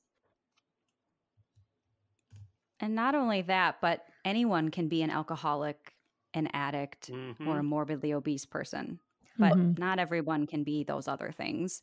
And my I have a suspicion, and I definitely would not speak for the writer of the article, but I think maybe some of this the discomfort might come from why are we still pandering to these Mhm. ideas of we're still going to um, entertain the idea that you might be uncomfortable working with someone who is just literally Mhm. being themselves like Yeah. that's a Yep. problem i think that, we they accept that as, a, as they are. Yeah. yeah like we feel like when i say pandering i just mean like it's just it's not okay and if we keep pretending like that is okay on any level i think it just opens up an opportunity to to make an argument against inclusivity Agreed.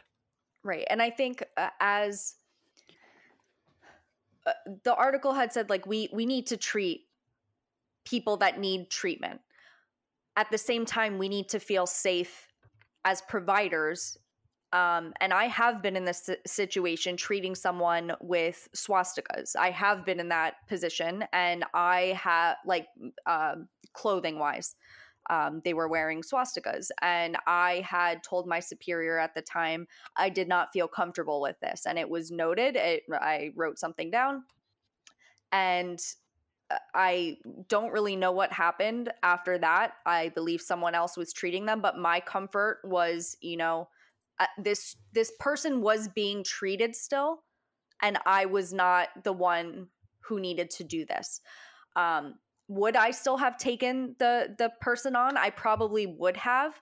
Um, even though I felt uncomfortable, and I think a lot of us are put in this position. However, this presentation that was done with this list, the intention does not over uh, I guess way more than what it actually came across, which is harmful. Mhm. It is harmful.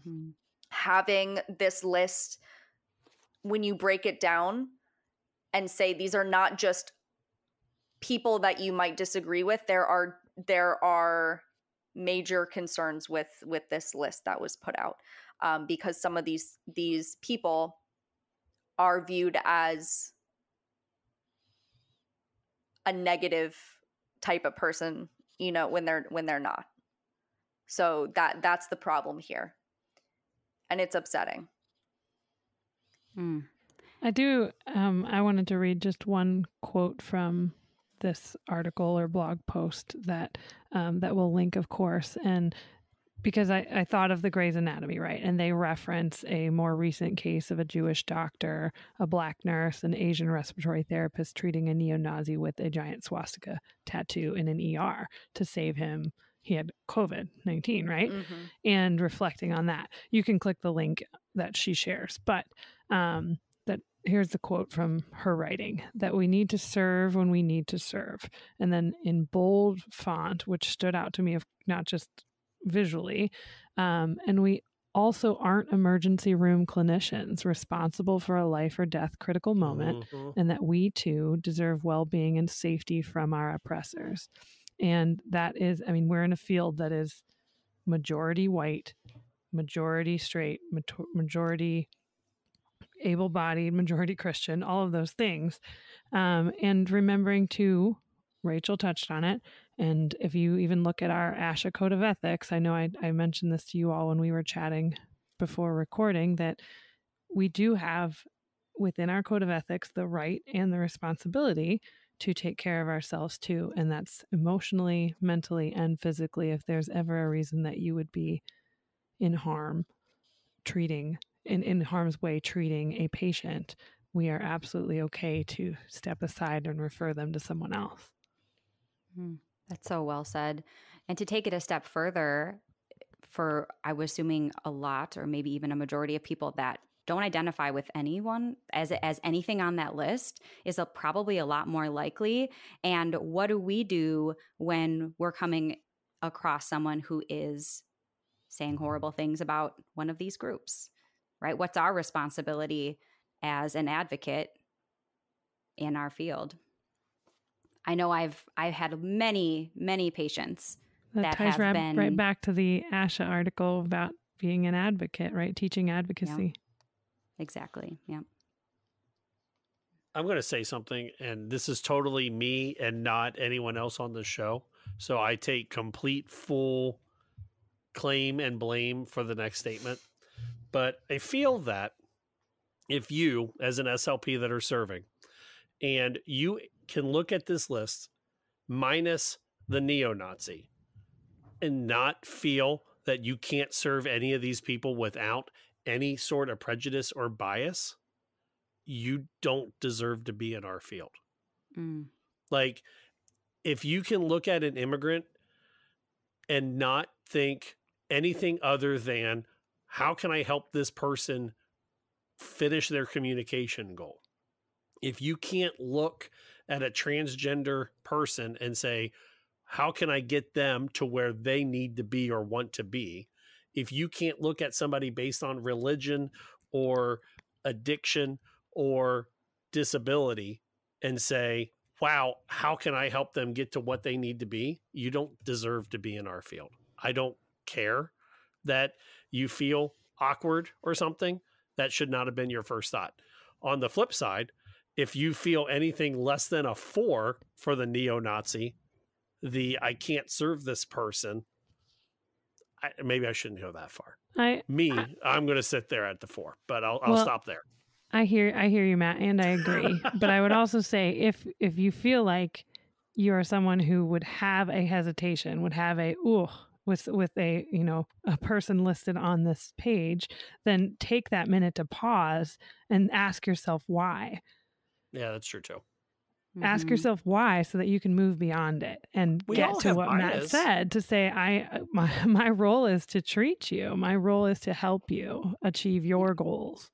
Mm-hmm.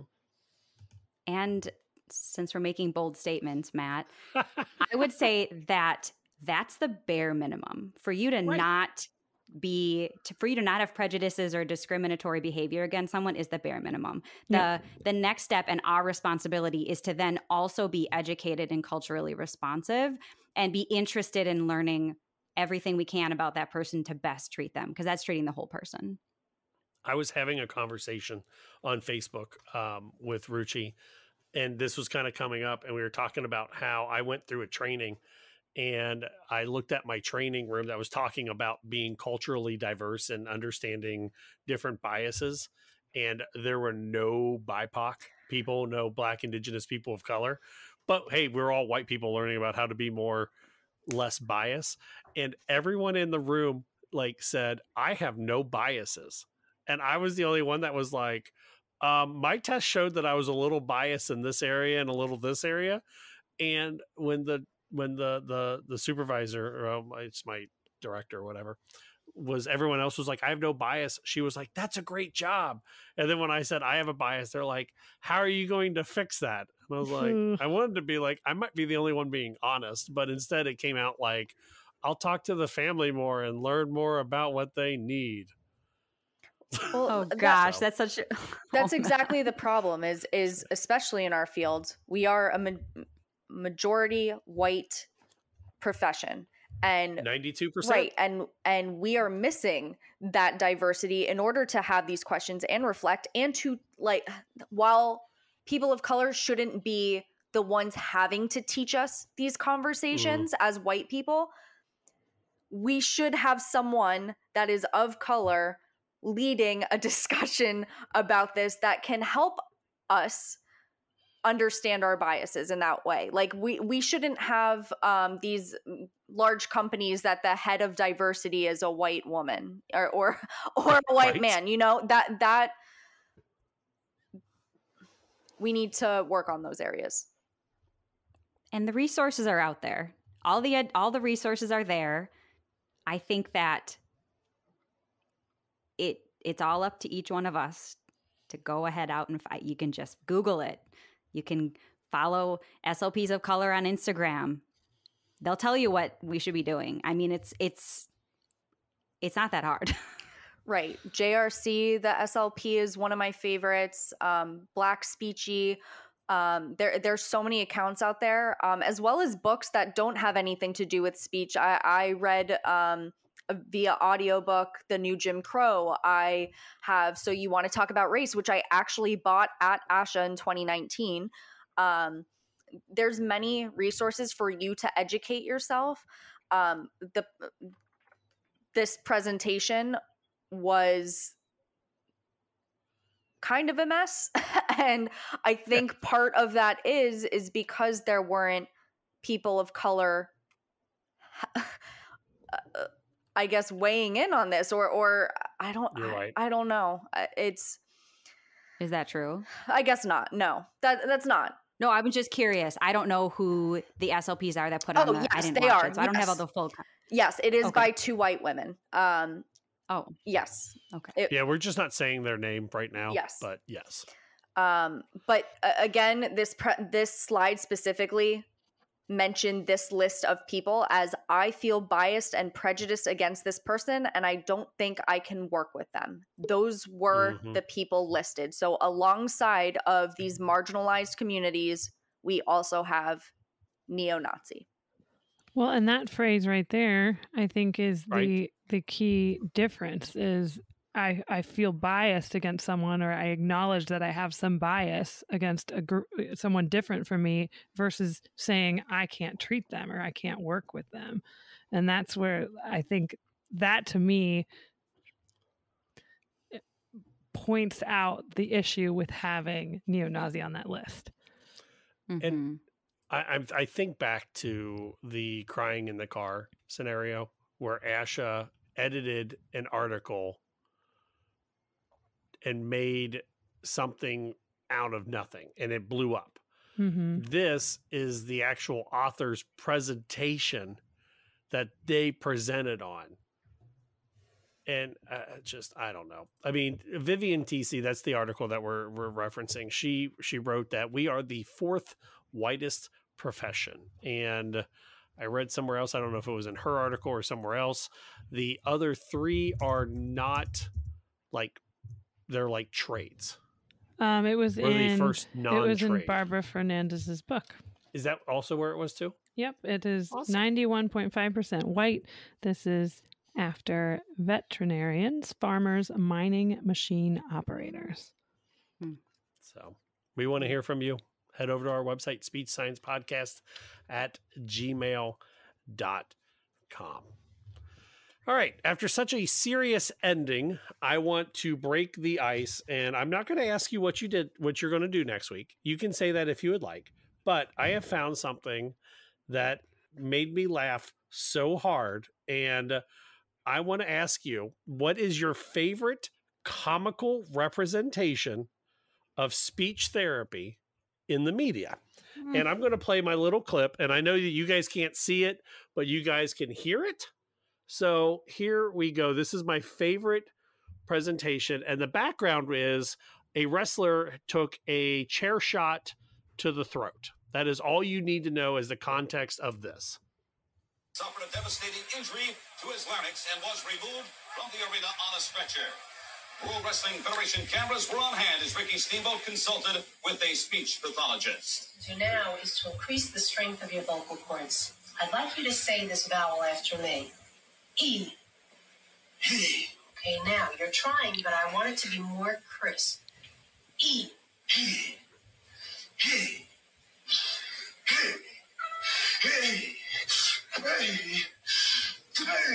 So Ricky Steamboat gets progressively more mad and then breaks the desk of What the is speech this pathologist.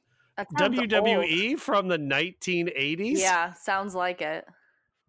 You know, But if I know anything about voice therapy, it's that you definitely want to just do a hard glottal attack as much as you Right? can. much as After possible. taking a chair shot to the larynx. Yeah. It's gonna fix I you think is right what they said. I So- think that, well, it's not an audio clip, but my favorite is just every stock photo of speech pathology, which has been on, you know, jobs I've applied to, clinic websites where they pull something or somebody wants to describe what speech pathology is. And the one that always stands out to me is why are the SLPs always holding like a giant letter? in every picture. That's true. like this giant A or this giant F or this giant S. They're always holding a massive letter for some reason. Michelle, do you remember when they did the photo shoot at OU and I got put on the pamphlet? Oh yeah, because you were a dude. lip? They have to look like there's more. I was dudes. pointing to my lips. Like that is something I do every day in therapy now. Marie, Rachel, what is your favorite uh, SLP representation in the media? We have WWE. We have Michelle and her giant letter cards. What do you guys got? Vanna White. I can't, I don't have anything specific, but I just went to a comedy show and the comedian was talking about how they had surgery and they had to have an emergency feeding tube put in. And there, there was like a whole bit about it. And she was saying that as she was getting it put in, she was going, ah, and like screaming and yelling. And it was like really disturbing for everybody. And I just thought to myself, I was just thinking, like, wow, what are the, what's the context of like an emergency nasogastric tube? And like, is it, is it always like that? Is there a lot of yelling? And, and I just need to see this. I saw a family member have their NG tube pulled out, and the doc was like, We'll do it on three. And he went one and yanked it out. Oh, that's cruel. It's just rough, man. Rachel, your favorite SLP in the media? I don't know.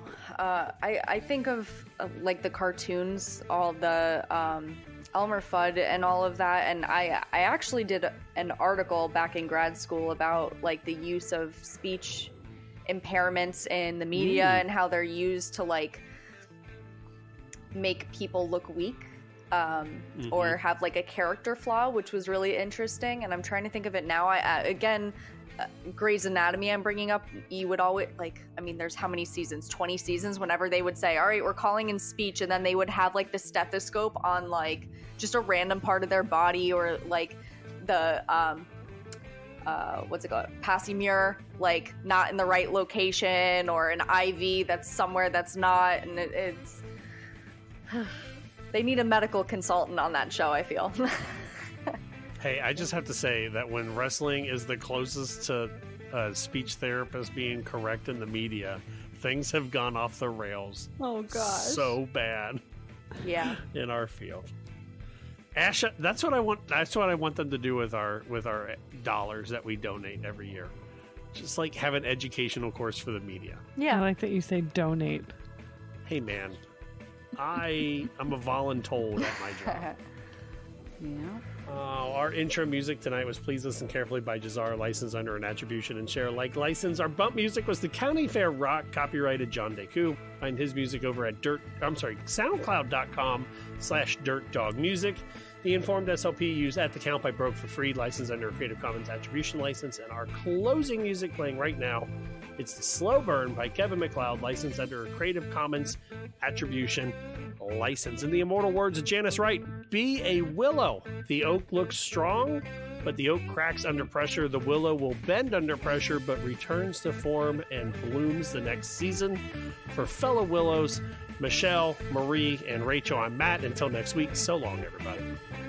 Bye. See you later. Hi. Guys, I'm so tired. I don't know how you're awake right now in the Eastern time zone. no, it won't stop recording.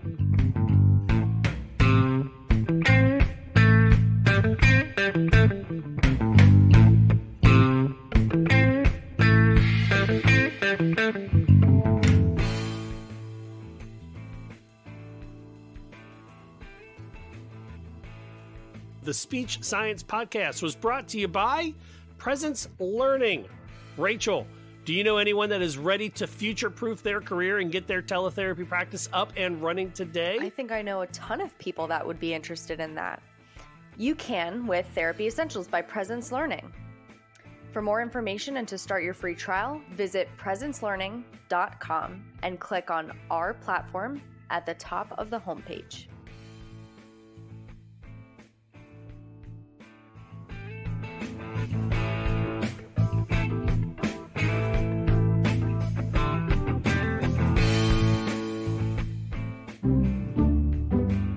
Speech Science is edited and produced by MWH Production. Please follow Speech Science on Twitter at Speech Science PC and like our page on Facebook. And rate and subscribe to our podcast anywhere you get your podcasts.